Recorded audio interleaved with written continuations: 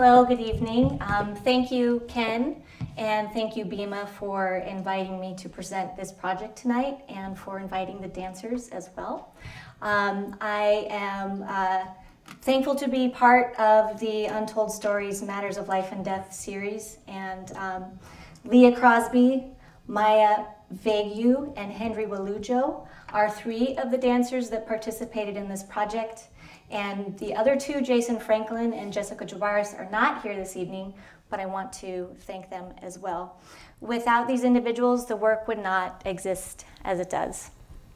I also would like to acknowledge that I too live, work, and make art on the ancestral land of the Suquamish people. And I do so with uh, an awareness and respect for them as a people uh, who were the original caretakers of this land. I'll talk a little bit about the project, its inception and my process, and then we'll move into some live interpretation. And first off, it might be helpful to know that I myself am a former dancer, and I feel that the body and dance is the most raw and instantaneous way to express and share common experiences. Everybody has a body, and I think that the body can be a source of empathy. And my intuition, because of this, was to use the human form to um, tap into the experience of the, pan- of the pandemic and also to compel the viewer to consider their own experiences in uh, new ways. Back in July of 2021, I was compelled to make work that would give an alternative and an additional voice to our experiences. As a whole, imminent proximity confronts the implications of the global pandemic on the human psyche, and it's meant to represent multiple aspects of these experiences. However, this evening we will be concentrating on one of those aspects, and that is um, the threat to our interconnectedness and to the, our very lives that the pandemic has posed and continues to pose. I developed this work by conducting field practices, and I was most interested in what would arise out of asking people to be in close proximity, tap into their own experiences, and move into movement improvisation. And I used certain loose prompts with them, and those prompts stemmed from uh, conversations that we had in which we, sh- we shared our, our personal experiences. So, knowing that this work is about experiences in the pandemic and it's not about dancer dancers, you might wonder why use dancers then in the first place? Why not use normal people? Um, non non dancers, non professionals. Um, and my answer is that for this project, um, I knew that physical interaction was going to be foundational to convey my ideas. And I knew that this required people that had a trained bodily intelligence and an ability to use their bodies as their primary source of expression through movement improvisation. So, collaborating with dancers seemed uh, the most logical, and dancers by nature are embodied artists. Um, I do want to mention also that this particular uh, group of dancers, I reached out specifically to them because I had seen them work together before, and I was impressed by their rapport and how comfortable they were with each other how much they trusted each other, and I knew that we wouldn't have to waste any time breaking down boundaries. So, um, so during these collaborative field practices, I wanted things to unfold very organically through processes of um, improvisation. And this image, Gathering Solace, is actually one that came out of probably our first half hour or so together. And I just wanted to get a feel for how this group of people could move together um, when being asked to stay in touch, be on top of this rock. And I, I was curious about the way they could fold in and out of each other, the way they carried their, their weight, the way they shared their weight. Um, and this wonderful idea of a morphing organism came from the very first um, minutes of our time together. And um, it became a way for me to communicate with the dancers. It was very fun because I would say, hey, morph. And they would kind of move around this multi organism um, creature, and then I could say pause, and they would pause, and I would be able to capture what I wanted to. And I could also fast forward and rewind them. And there's, they're, they're so amazing, and they're such professionals that if I had missed a moment that I knew I wanted to come back to, I would say, okay, pause, and rewind, and they would sort of like shift back in. Um, So it's, it's really fun to get to work with, with people like that. Um, let me sidestep for a moment and say that I consider myself to be an interdisciplinary artist and a process-based artist. In part, this is because when I work, I combine my own movement with photographic capture. And I do so not only because it's my intuition to photograph uh, in that way, but it also gives me the ability to offer alternative perspectives that we might not usually have. Because of the themes in this project, I felt that it was even more important to work in this way. So in order to enhance the felt sense of proximity and sense of intimacy, and the only way for me to truly do that was to often integrate myself with them and move with them. And they were gracious enough to allow me into that, into that personal space that they were creating. Um, and in this way, I could follow the ebb and flow of their energy. Um, I could predict gesture and all the time while hunting and waiting for those key emotive moments and compositions. So it's not new to us that uh, physical intimacy can pose threats. There's always a need uh, and desire for intimacy, platonic or otherwise, and they always have to be carefully considered. And the pandemic certainly has been no different. And as I had started off this sequence of photographs, I think, if I remember correctly, I had simply asked Leah to cradle Hendri on a log um, in the ferns of Erica's back ravine.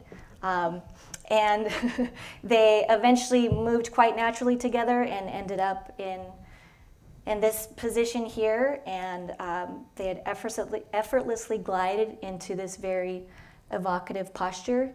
And at home when I was reviewing the images and this one came up, I was really filled with a complete visceral sensation of, wow, they've come into this moment. And Leah, for some reason, has naturally given into this idea of needing to temper uh, this intimate moment that they were having together. So, this is an aside when I am in the field photographing, I'm rarely thinking of, for example, with this, I'm not thinking of let's create a moment that looks like there's something evocative and powerful going on, but let's make it look like we're not supposed to be doing it. It's way it's way more organic than that, and I don't necessarily know what the images mean, mean or what they say until I'm editing. Um, my hope is that this image, touching hesitance, speaks to the underlying confusion that we've been living in and to the sometimes unspoken concern about the possible implications of our togetherness.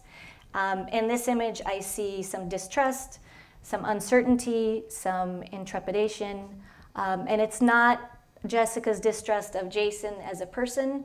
I feel that it's her distrust of the situation, of the context, and she's, I love the look on her face because I feel like I can see that whole dialogue playing out in her head in the moment as she's trying to navigate this uh, relationship with Jason. Our need for connection is instinctual. Um, at the same time, it can be exhausting. This, in, excuse me, this image is called enduring kinship. And Leah's physical attachment to Maia here, it's not aggressive. In fact, it looks loving to me. But Maia's reaction uh, here suggests that she is experiencing something totally different. And there's a need to, seems to be a need to peel off this person, not have to carry the burden of supporting them.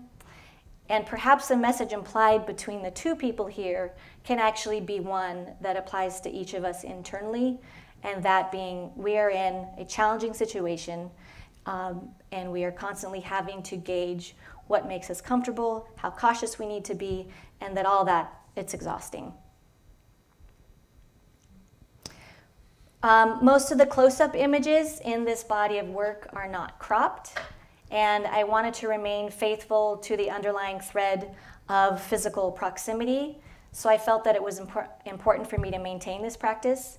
And I also love the confusion of limbs and body parts and, and bodies that comes from it because I feel like it echoes um, a lot of our experience right now out in the real world.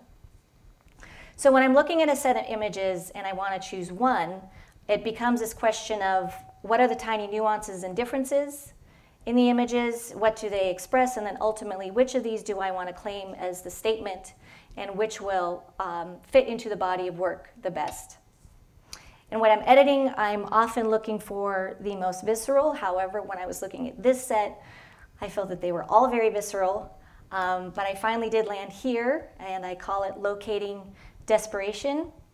Um, compositionally, it's not actually the strongest, but I decided to go with it because I feel like it best conveys the psychological and the emotional qualities that I was looking for. Um, there's a strange balance of desperation uh, that's between uh, Maia and then this almost tender holding on the part of Hendri.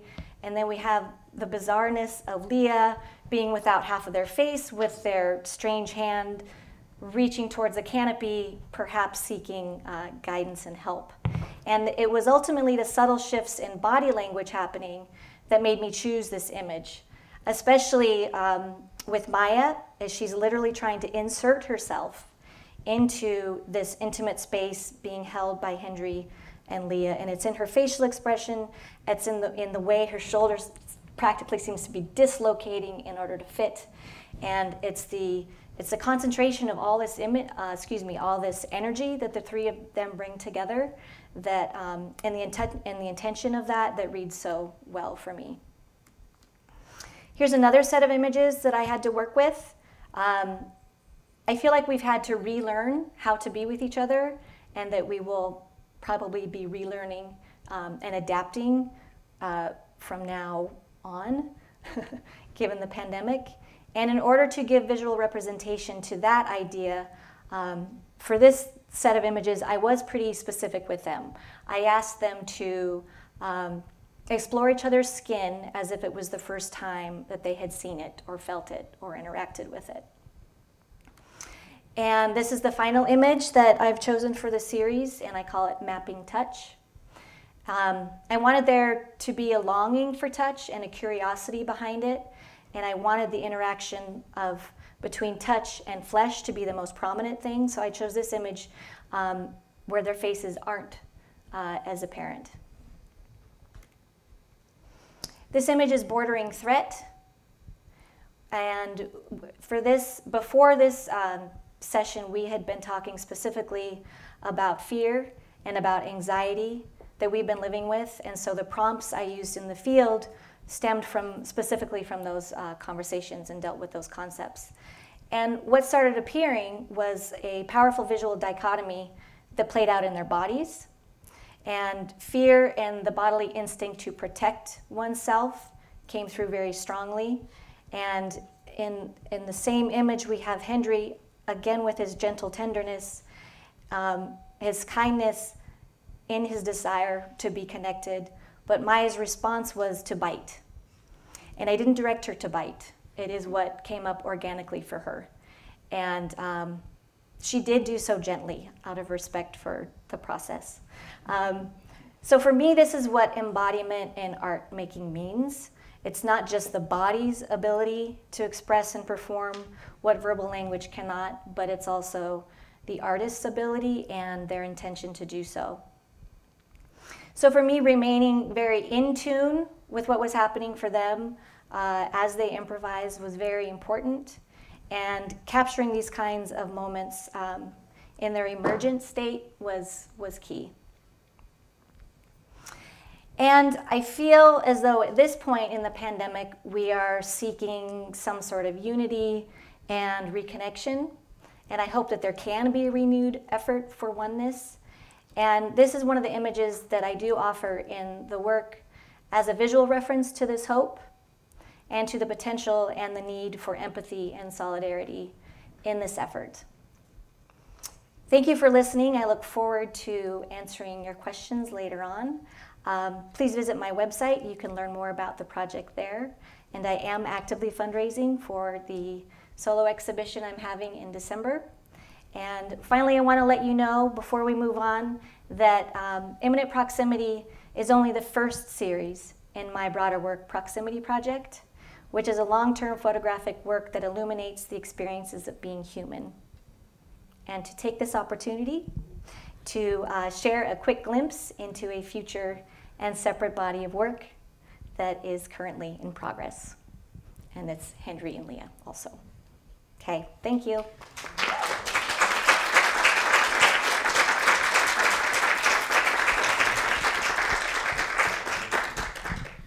Well, I'm going to uh, invite three of the dancers um, to join me. And uh, Leah Crosby, come on up. Maia Veague. And Hendri Walujo. And I think, um, so this isn't a, a formal dance performance. They're not going to perform a set choreographed piece and then ex exit into Wings and Be Gone. Um, this is meant to be more of an interactive situation. Um, you can start with questions, questions for me, questions for us. You can um, choose to share some of your personal experiences of the pandemic, and we can throw them a prompt and see how they improvise through that prompt. Where did you see death and dying unfolding through this process? I mean, we've, we've done a number of different shoots at like different periods in the pandemic, and there were definitely like working sessions that felt higher risk than others. Um, personal death. yeah, yeah, and um, I think also different flavor, but there were some of the, and this was less apparent in the images that you shared, but we have done some work with like a like a burnt out like scary stump and also in some some locations where like the there's images of death around us and that I feel like shapes how we interact with each other. Mm-hmm. Yeah, and this work was proposed to us really in, in, this like initial bottom out period of the pandemic where we weren't leaving the house a lot there were no vaccines yet. Everybody was making a lot of adaptations. So there was this very um, prevalent idea of, of sort of relating to, you know, this, this existential idea of mortality suddenly being all around us. And one of my personal responses is the last project that the three of us were in together prior to um, beginning imminent proximity. Sarah was the photographer for our performances, and that project dealt a lot with generational trauma and death, and we really got involved in that process. And then it ended, and pandemic started right after that. So there was there was very much a strong ending right. of us working together at that component or at that point, and being brought in again for the first time to work on something together with Sarah sort of picked up some of those old threads, I think, from a, a former project and really tied together a lot of those ideas of death and mortality. And it felt heavy in a way to work mm-hmm. on. Yeah. It was also kind of the first time we got together after, during the pandemic where we are like tasked to be close, skin to skin with each other and there's a lot of joy in that, but it's also like this grief of like, we haven't had this in a while. Right? So, At the time, we had to make a choice. Right. Mm-hmm. Do we want to yeah. absorb but, that risk? Right. But we're so comfortable in, in our group that we just jump in and I guess it's shown on camera. yeah, and I think I'll, I'll just add that um, I was really struck by a lot of the conversations we had before we headed out mm. into the field. And so they're all professional dancers, but they have additional jobs that also are about the body and they are about being in close proximity physically with people. So 24 7, that was, is their lives. And I just remember a lot of uh, hearing them talk about it's constantly having to gauge in the moment what kind of risk am I going to take? How big of a risk am I willing to take? And what are the possible repercussions of that? Am I going to end up getting really, really sick just because I want to go to a concert? Um, what if I do work with this client with my mask off? What might happen to me or to that client? So I think it was, it seeped in and out in, in multiple ways.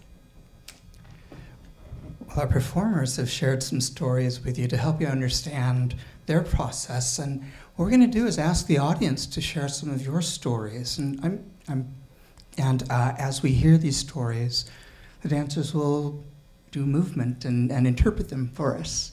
Um, so, didn't, didn't we discuss this?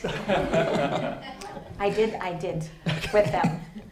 So I'm, I'm wondering when if anyone's willing to talk about when they first started realizing this is kind of serious stuff here, you know? That, that the, the pandemic wasn't just a, a, a little blip anymore, but something that was becoming much more impactful and much more invasive on their lives. Okay, I'm so not comfortable doing this, but you guys have offered yourselves up. Thank you. I think the visceral quality of your work was so intense, and so I feel free to share that I felt initially disbelief and shock. I thought, seriously, this would be over in two weeks and we would move on. And it wasn't. So I think we all had moments where we went to really dark places where we thought we wouldn't be able to emerge out of those dark places. And in addition to our dealing with our own emotions, I felt that we were dealing constantly with the emotions of other people. And oftentimes they were angry emotions and dividing. I think that's where I had the hardest time. How did that impact you? If you're willing to talk about it. Well, personally, I stayed in bed for one whole week at one point, unable to really cope or deal with anything, which is odd for somebody who's typically happy. So it forced me to deal with the darker side of my own self and the darker side of other people, I think. So I had to crawl out of that space. And I'm like, So, what helped you crawl out of that space? I think my own emotional fortitude at the end of the day. And now that you've that you've kind of, I don't know, made peace with with where we're at or adjusted. Um, like Sarah said, I'm looking for connectivity now and healing. and what would it look like? What would that look like for you? What, Well, I take a lot of joy in seeing people happy and out again. And I take a lot of joy in going to activities that we didn't have before. Sarah said concerts and on Bainbridge Island, even this weekend, the Moonlight Market and First Friday. Small things. And one more question, if, if you don't mind. What do you think is going to be the new normal? Like, how has the world changed, or has it? Are we going to go back? It changed. I think once something cracks you open, in the way that we've been cracked open, you can't help but change. And I hope that we're more compassionate going forward for ourselves and others. Is there anything else you want to add? No. I want to thank you for your generosity with the story. Thank you. Do we have other folks who can talk or would like to talk a little bit about their experiences during this time? Maybe some of the changes that, that you've had to, that were difficult to adopt to? Or what are some of the things that you've discovered during this time?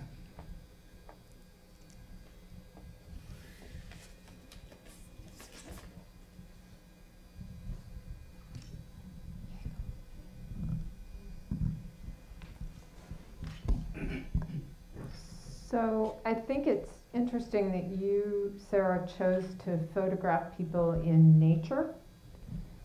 Um, because the two things that I think kind of saved me through the height of the pandemic were nature. You know, we went into this in March, it was spring, the outside world was waking up, and so even though I was alone, when I was outside, I didn't feel alone because I had all of nature to commune with uh, for a long time.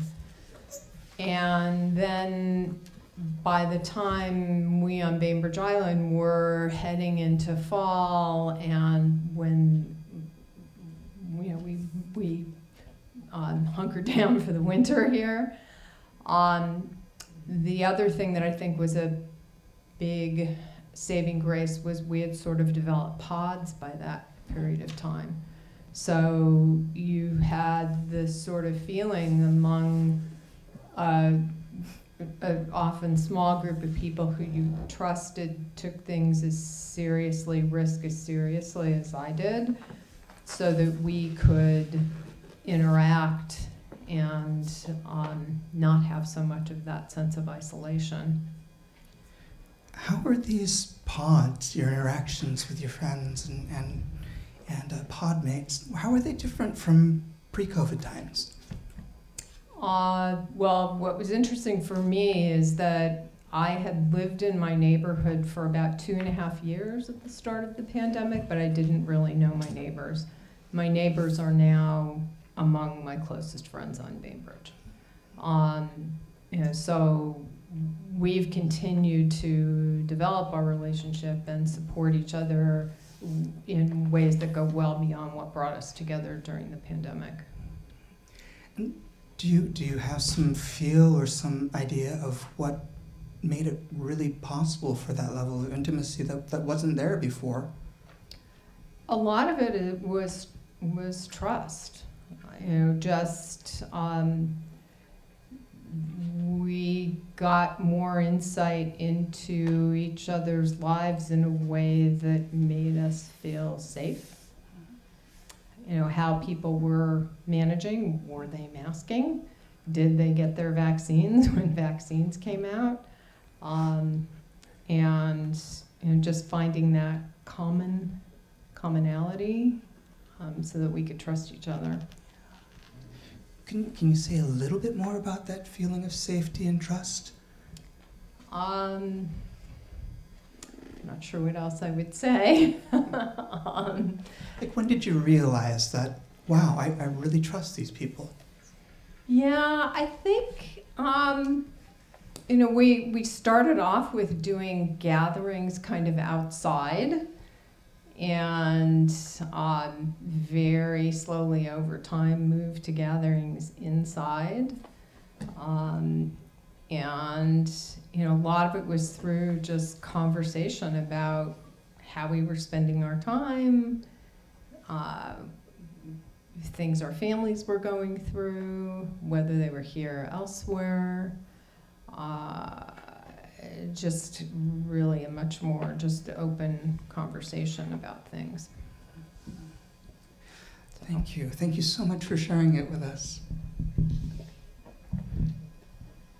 These stories are important, you know. These are the stories that will mark this period in time.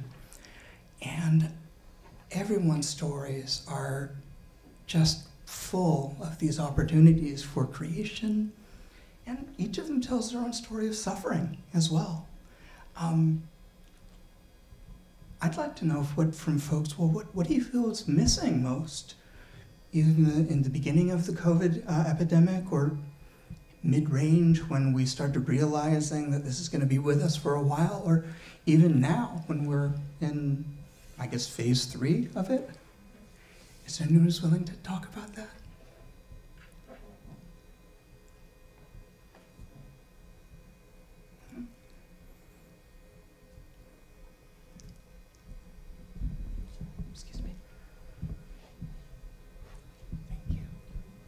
Um, I think we all used to make decisions of what we were going to do, who we were going to do it with, without much thought. We just automatically went out and made ourselves happy. And the thing that I felt most in this pandemic was a constant checking, a constant doubt. Was I making the right decision by going here? Was I making the right decision being with this person?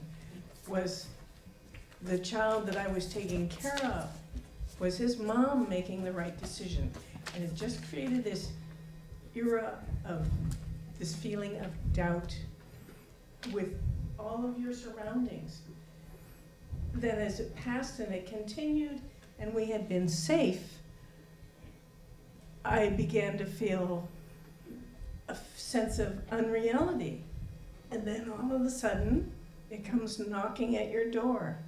Your, your sister in law gets it, your brother gets it, your niece gets it, and your whole world feels like it's beginning to crumble around you. So it was a very difficult time, and even though we're coming out of it now, there's so much insecurity in our safety that was never ever there before. Are some things that you've that you've discovered you were taking for granted before? Just the automatic someone calling saying, "Let's go grab a beer," you know, and even now it's a constant. How many people are going to be there? How close are we going to get? Um, going to the um, Battle Point Park, looking at the number of cars that were there for the concert and thinking, I just think I'll keep on driving. Mm-hmm. It's, it's changed a freedom that we had. Mm-hmm. Well, a hedonistic freedom at that, but it's still changed a freedom that we had to do what we wanted to do when we wanted to do it. And now you, you check everything. You, you still question. Can you imagine forward a little bit to when we do finally have a have a reliable cure or treatment for this? And what is what does life look like then as far as trust and as far as these anxieties that you have right now? I think it's gonna take a while. I think until we get through several years of having an, an established vaccination routine, just like the flu. If you don't get your flu shot, that's your dumb fault. You got. And if you do, okay, relax. It probably won't be as bad as it was. I, I think we'll begin to relax a little bit more, but I don't think it's, it's, I think it's always gonna be difficult because that will be hanging over us, um, and affecting some people more than others. And that's the scary part of it. You you don't know who it's going to affect.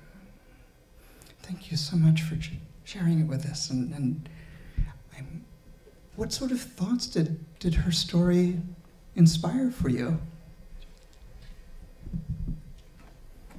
Oh, Thank you. It reminded me of um, my grandparents having lived through the Depression. It affected them for the rest of their lives, and it changed forever.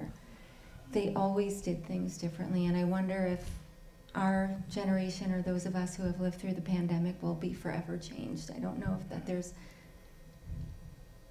going back to normal. Are there things that you that we hope remain after we go back to quote normal?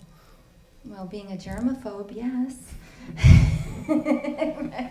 I love that everybody's more conscientious about the things that we touch and how we interact, but I don't mm-hmm. want it to be so much so that we don't have, um, that we don't interact with each other lovingly, you know, and go out into the world. But again, I, rem- I remember my grandparents being forever changed by the Depression.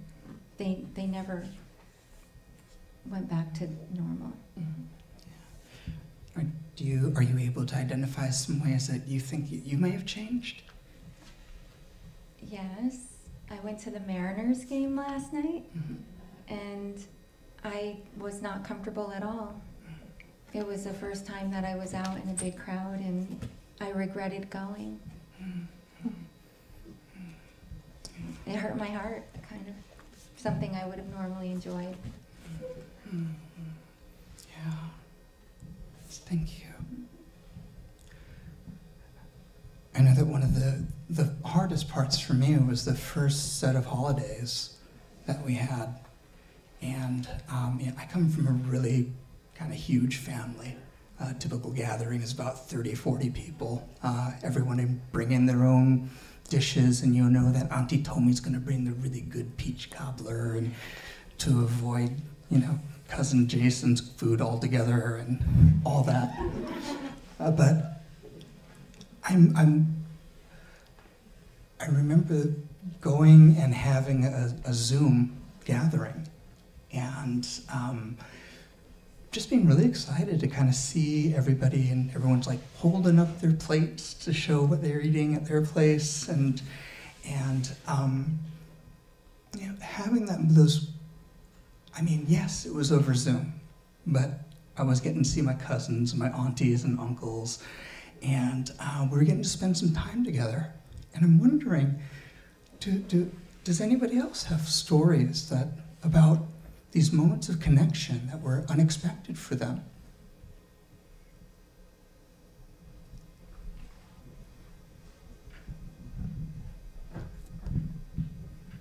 I think the whole pandemic was very, um, of course, jarring for a lot of people. For me, I had just moved up to this area, so I was brand new and didn't know anyone. Um, so, building a community and then or trying to build a community and the pandemic hitting was really hard. And the isolation definitely deterred that forward motion of connection. But it inspired connection with self and enjoying that isolation in the beginning which was beautiful uh, more than i thought i would enjoy um, and it helped me to focus on the people in like my work circle. Who was I interacting with every day, and how could I dive deeper with them? Um, and I think that made these like really strong bonds that might have still happened if the pandemic didn't change the plans, but could it have been as strong as it is now? Who knows? Yeah. One of the things that I kind of noticed about the, the bonds that I've been making with folks during the pandemic, um, it reminds me of when, when I was younger, you know, in my teen years, my 20s, when, when you would love each other fiercely and fearlessly. Um, because there wasn't that history of heartbreak or there wasn't that history of, of like friends doing some not so great things to you. Um, so there was just, I don't know, maybe for me there's there's been this conscious innocence to how we interact and how we connect with people, um, which, I mean, as someone who, who is really introverted and very shy uh, when I'm not doing this, right? um, it for me, I, I, I always felt very, very guarded. But I find myself a lot less guarded with the folks who I interact with now. Um, just because after you know two months in an apartment with my cats, I'm really looking forward to something that says more than at me.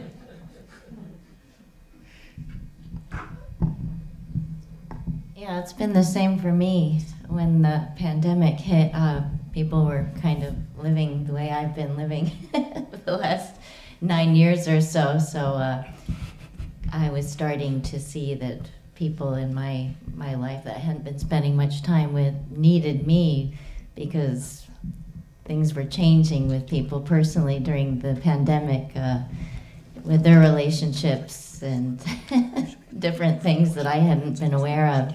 So I realized that I had been in hiding or not really giving enough to the people in my community here. So um, I'm comfortable being alone, but most people aren't. I kind of feel like the anomaly when I'm out there. I'm like you, I'm out there, but when I'm not, I like to be back in those woods that you were seeing pictures of. Um, so it really, I became more social because of the pandemic. Uh, a few people in my pod were reaching out to me, so the introvert was time to step up and extend myself and help others along. So uh, I guess that's a good thing. I hear Sarah saying people need people. Everybody says that people need people. Therapists, psychologists, artists. Um, I'm not so sure if that's true or not, but I I did see it, this example kind of forced in different ways. And uh, it's nice to be out among the community again. Was that surprising for you to discover this about yourself? Well, yeah, I guess I just been, you know, weeks, days turn into months and years quickly. You don't realize how much you you do uh, kind of keep to yourself and how little you do know of your friends and what they're going through in their homes and your neighbors. And so the pandemic just revved it all up. And so neighbors, friends, things were happening that I hadn't seen or understood. We just don't know what people are going through. And so now I, you know, I make more of an effort.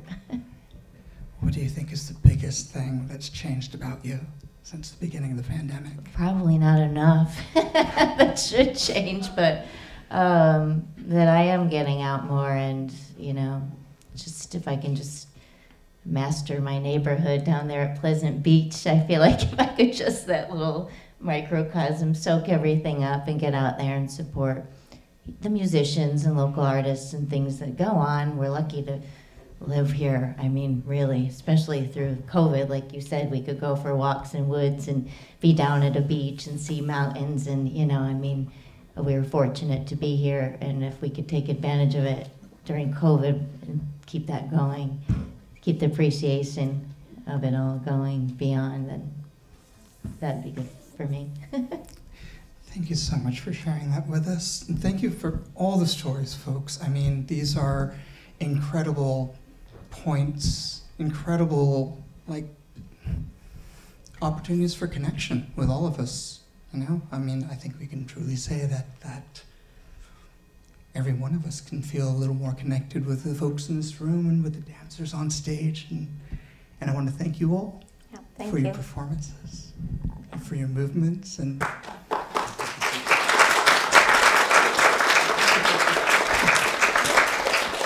Um, at this point, we do have some time for time for Q and A for anybody who is up here. Um, so we welcome your questions. Were you at Bloedel filming? No, but that's my next stop. Because I think I saw on the Bloedel website something about. Dancing in nature. Yes. Yes. Yes. It was not me. Okay, and it wasn't. and it wasn't your cast. No. No. Okay. No. I just wondered. Love the opportunity. Yeah. Yeah. Were you on the island? Yes, um, I, I live here and they all live in Seattle. Um, so they, they would come out for our field practices and um, I had predetermined certain locations. Um, but beyond that, not much else. And we went to public parks, we visited neighbors' property. Um, so yeah, Thank you. yeah. So This is, this is for the dancers. Um, I, I, you answered my first question, which was, do you give any verbal clues to each other? And obviously, you do, don't seem to give any verbal clues. But do you give any kind of clues to each other as to what you may be thinking to move the other dancer the way you want the other dancer to go? Or do you, is it a, a response totally among all three of you, a total response to the other three? Is there anyone that takes a lead, I guess, is what I'm saying? and- It's just magic. through? It's magic. This is this is the magic, and, and before Sarah mentioned that we've worked together, so it part of part of the the existing trust is that we have worked a lot together. But I mean, it did feel, you know, kind of wild to be on stage right now because we have we haven't Yeah. moved together and improvised together in, in like a minute. But like that language is still there, and it's sort of like think of it as like kind of like skin listening, and you could you could see like things happening. It's like oh, like right now we're all like picking up on this energetic thing that's sort of happening, but no, there's no leader. Definitely not. Are you actors too? Do you do acting? or just dance? I'd say there's a story that informs the movement. As you're moving, there there might be a, a sense that you're moving towards, but they won't know what mine is. I won't know what theirs is. We may have conflicting stories. That was actually something that struck me listening to the lecture that you can draw a story out of those still images, and some of those I'm thinking, oh, I don't remember my role in this, but there was a story that I'm following or someone's following.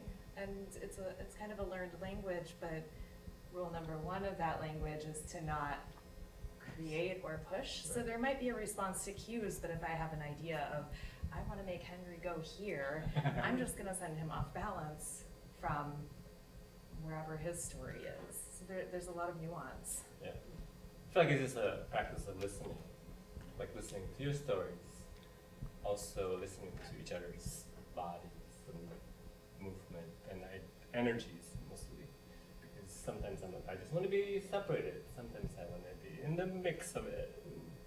Yeah, there's no leader, but everybody's also a leader in a way. we lead our own stories, but we help each other create moments. I guess. Oh, oh, I have a question about, um, so Sarah's work here is ph- photography, which is still image, and then you guys are working in this temporal way with each other in this space that's not a stage, it's like this sort of infinite possibilities. And so it's like this conversation happening between something that's temporal and infinite and something that is still and is in this rectangle. But then when you are working together and you're going around to these different spaces, do, does Sarah show you some of the photos or like how it's being framed? Or at any point when you're moving together, are you thinking, does it ever enter in your mind anything about the still image or the rectangle? Or, it, or has it like, did it never? And then soon after, like working a few times, and it was like, it started to be some part of it. I like this question. It's really interesting. Yeah. I have my answer, but I'll let them answer this. Go for it. Oh, oh. I think at the beginning, she would show us a few images, but I, in, a, in a sense, I'd rather not see them at the moment because it informs too much of what we're doing, and I want to be in the moment of creating and feeling rather than seeing the end results. Like, um, even today, there's some there's some captures that was like, whoa, what is that? That's beautiful, but I wasn't aware of it. I wasn't like it's like whatever I feel at the moment was was clearly shown on camera, but I wasn't creating. I was trying to I wasn't trying to force it to happen. It just like it's it's there and it's it's kind of that beautiful moment.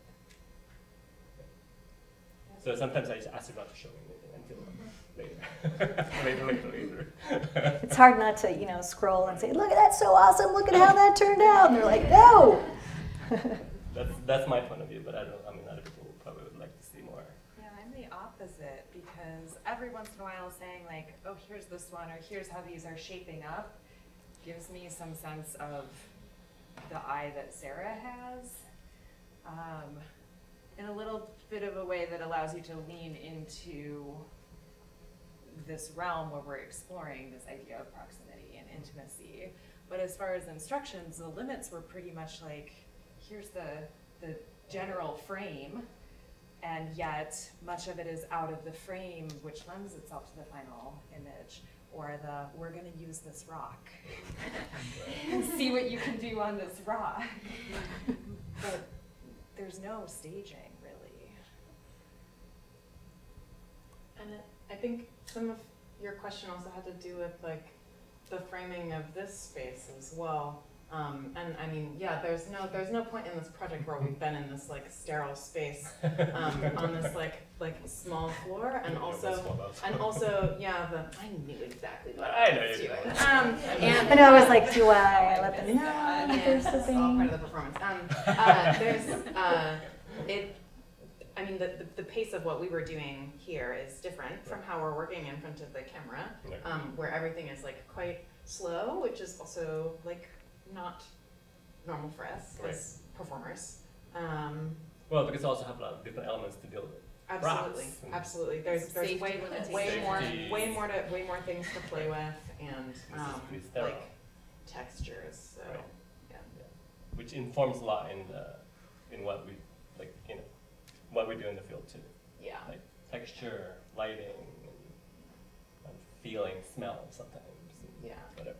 That's a good point. That smells, yeah, smells and Yeah, textures the sun and on your face Right. and the wind in your hair. There's there's something that lends itself to the the moment of it. Totally, the coolness of the rocks and all the different crevices and all that stuff.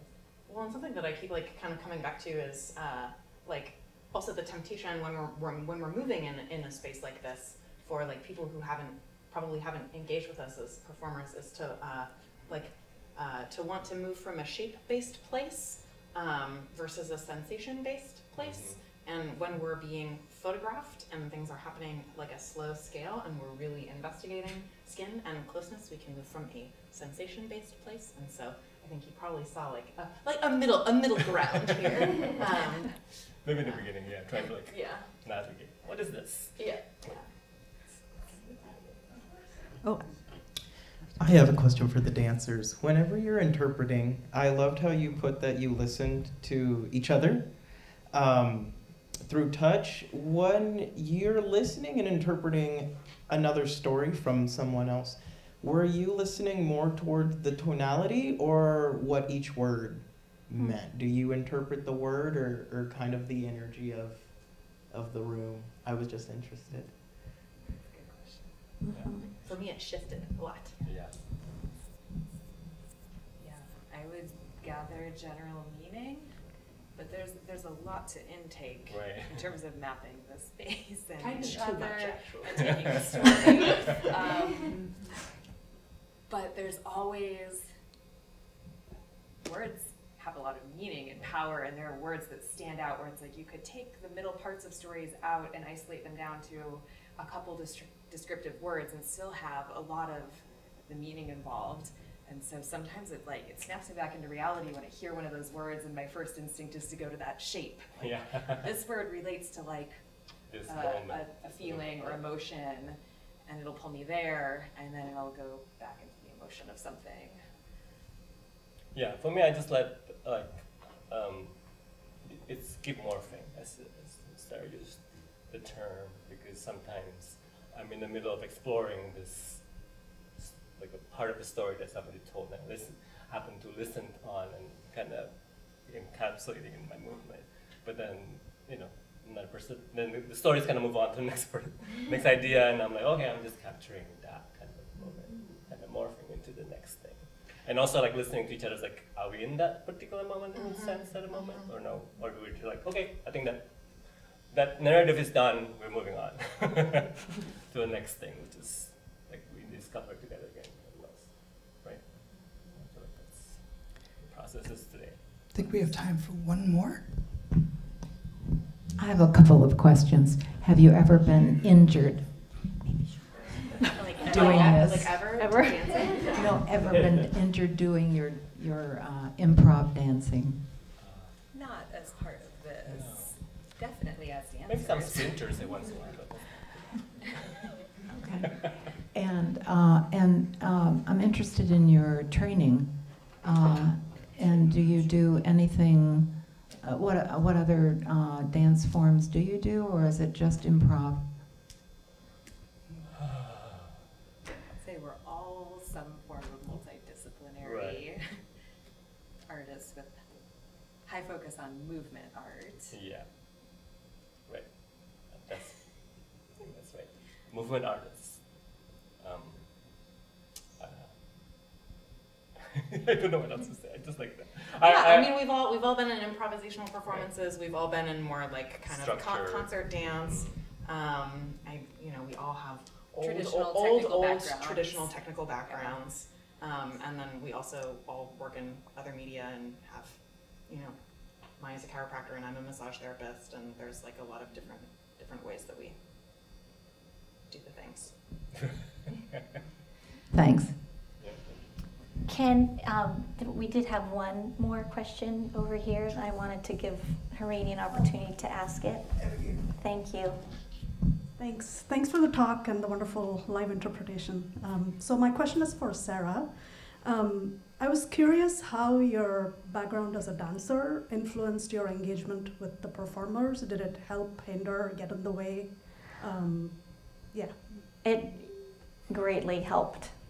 Um, and it was the reason for um, having a background in dance is the reason that I photograph the way that I do. Um, and I always am wanting to get closer and closer, specifically for this project.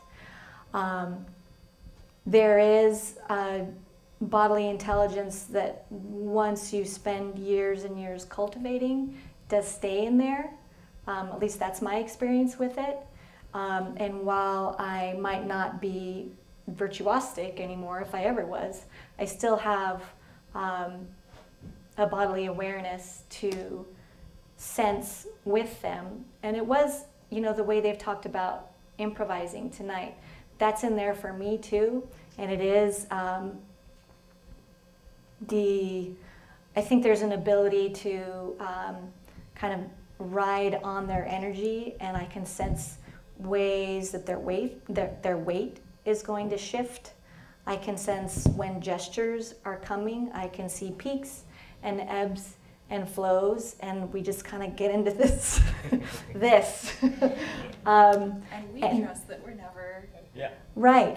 Being you with the camera because you're doing this right. dance with us. I don't have to think about where you are. Yeah, exactly. So, and so I'm, I'm very aware that I also have this extra object that's between me and them, and having to make room literally for that um, is an important piece of it. But um, you know, one of the things I love about um, this project and getting to photograph them um, is it really affords us a different perspective of um, this kind of work because when we're in a theater and we're in a formal setting, you all are sitting in a single chair and you have a single view and you're having therefore a single experience. But what I try to do um, sort of capitalize on my dance background is to get into the nooks and crannies and find these perspectives that you're never going to get. Um, and that's my joy of photographing moving bodies. You know, and as they were up here today, I was like, "Oh my God, where's my camera?" thinking about. I know. I was, I was like, like it was very. Uh, I'm, I'm, having a very hard time. Yeah, because I'm just I'm seeing um, I'm seeing the forms and the shapes, um, you know, for what they are, but also I know them so well as individuals. Um, so it's important for me to capture their personalities as well. Um, but yeah, so that's for me the difference between watching performance and photographing performance as documenting it, right? That's one type of photograph you're going to see, but it's a, it's a very different um, in yeah. Please give them a big